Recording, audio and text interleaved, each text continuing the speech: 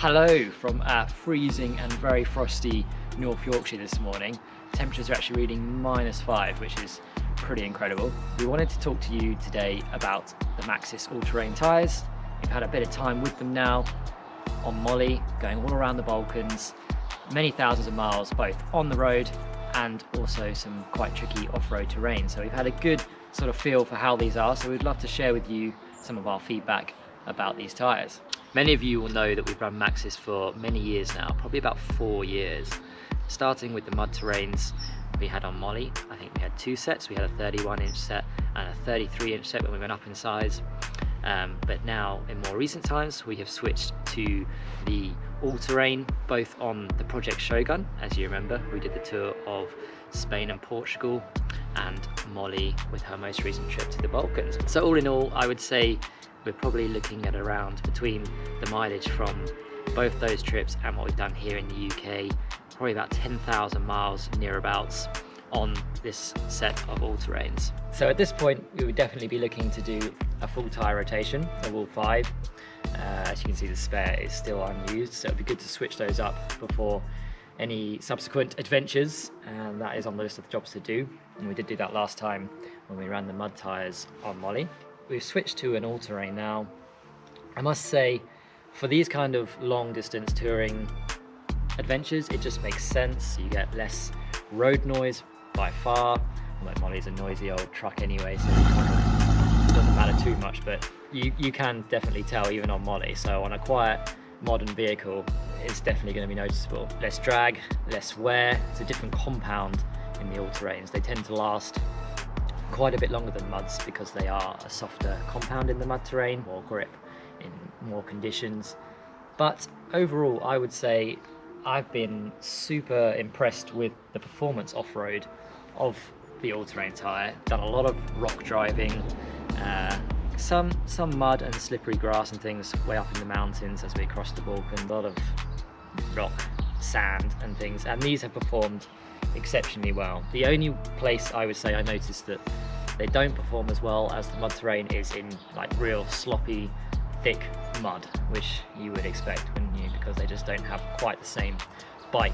On our most recent trips, we have definitely noticed an increase in MPG. I'm going to say that the all-terrain would definitely be down down to that in some way, but also we did switch from a 33 inch by 12 and a half mud tyre to a 32 by 11 and a half so that difference in size is probably making up more of that difference but there will definitely be some fuel savings there. Excuse the ice and snow but um, if you take a look at the condition of the spare you can see just how it should look when brand new and then when we come round compare it first bearing in mind we haven't cleaned or anything these tires they've just been on there and we look at the the wear I don't know how well you can see, but um, it's a very even wear. Molly's uh, tracking must be on point too. And we go around to the front. Front's big heavy car, tend to wear a bit more on the front. You can see definitely there is more wear to be had on the front, so it's definitely time to do that rotation. But overall, a very even wear pattern and yeah, I'm impressed with, with how well these are going so far. No damage on any of the tyres to the sidewalls, all in very good condition, and that's including a lot of, you know, jagged, rocky terrain way up in the mountains in the Balkans there. So I'm really impressed with the strength of the sidewalls on these because we've aired them down to less than 18 psi, uh, not needed any less than that, but um, when you get that tyre bulge, the sidewall become can become vulnerable on a tyre, but these haven't even had a slice, cut, puncture, anything to speak, so impressed with that.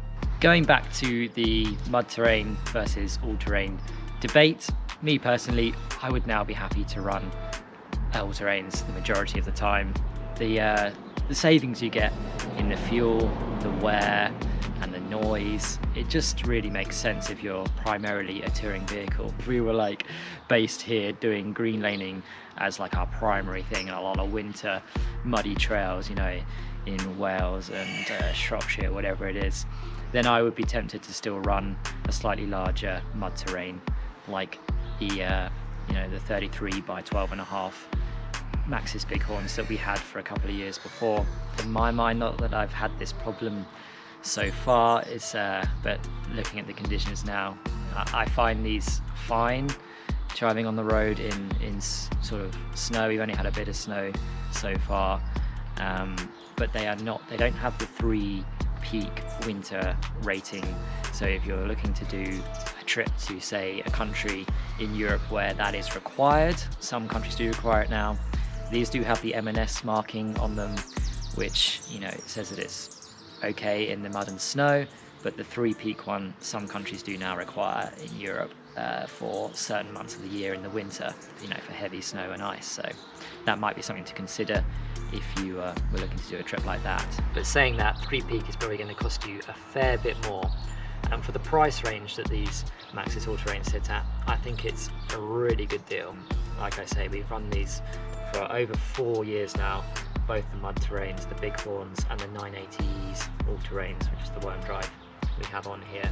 And I can't fault it. We've never had a tyre let us down in all that time.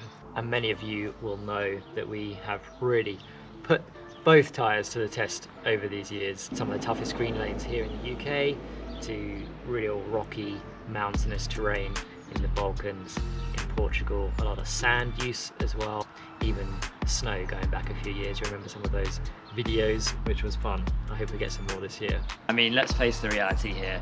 Most of us guys in Europe who are doing a, a trip, it requires thousands of road miles to get to wherever destination you're going, whether it's Morocco, whether it's the Alps, the Pyrenees, you name it, uh, Scandinavia, we've all got to do a lot of road miles to get there. So it kind of just makes sense to have this slight payoff running the all-terrain with all those points we discussed earlier. But then again, if you are primarily, which we're not, you know, on the UK green lanes or pay and play sites every weekend, uh, where it's real rough, sloppy, muddy, and those kind of conditions where you want a big tyre, a mud terrain tyre, then I would definitely be going with the Bighorns again.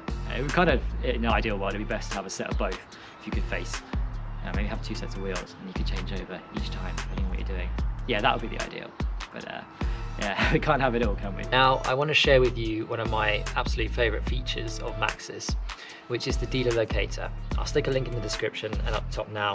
But basically, you can go there and you can stick in your postcode, address, whatever, and it will show you all of the Maxxis dealers that are within your area and the closest ones to you in order. So it's really worth checking out guys. I really recommend it. It makes things so much easier when it comes to that new set of tyres time when you want to get the fresh rubber put on. So head on over there and have a look at that. It's been awesome to dig a little deeper with you guys into all things tyres, you know, mud terrains versus the all-terrains.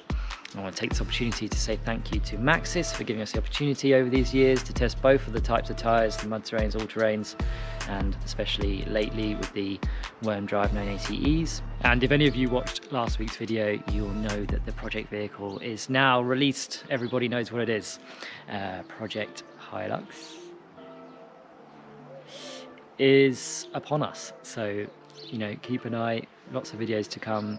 Going to be building that thing up into the ultimate touring overlander. Can't wait to get stuck in. All right, guys, catch you in the next one.